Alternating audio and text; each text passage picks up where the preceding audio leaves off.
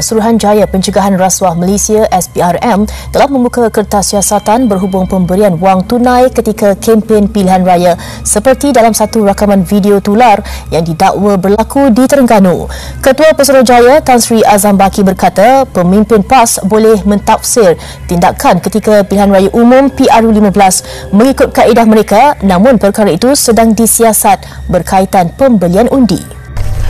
Dalam satu kenyataan kepada New Street Times, beliau berkata berdasarkan Akta Kesalahan Pilihan Raya 1954, rasuah disifatkan berlaku apabila calon atau mana-mana individu membeli undi sama ada secara langsung atau tidak langsung.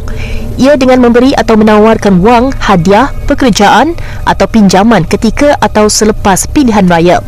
Undang-undang juga tegasnya telah menetapkan bahawa setiap calon dan wakil calon tidak boleh memberi wang ketika berkempen. Calon juga boleh hilang kelayakan sebagai wakil rakyat dan juga kehilangan hak untuk bertanding dalam pilihan raya selama lima tahun jika mereka didapati bersalah.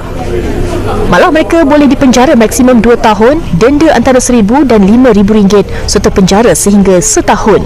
PAS sebelum ini dikecam ramai selepas satu klip video menunjukkan segelintir individu menghulurkan wang tunai kepada pengundi dolar di media sosial.